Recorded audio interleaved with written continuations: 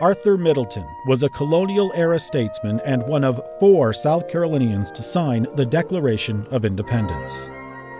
Middleton is one of the most important and influential South Carolinians in the run up to the Revolution. His legacy, I think, is one of tremendous self sacrifice. Middleton is all in at a very early date and quite zealous.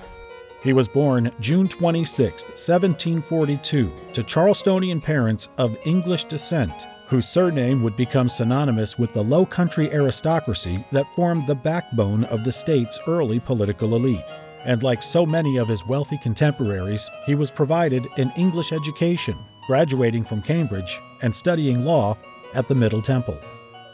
When he returned to Charleston in 1764, he married Mary Izard, and the two lived on his family's plantation, known as Middleton Place. He quickly became involved in politics and was one of the leaders of the American Party in South Carolina. He succeeded his father as a delegate to the Continental Congress and subsequently signed the United States Declaration of Independence in 1776.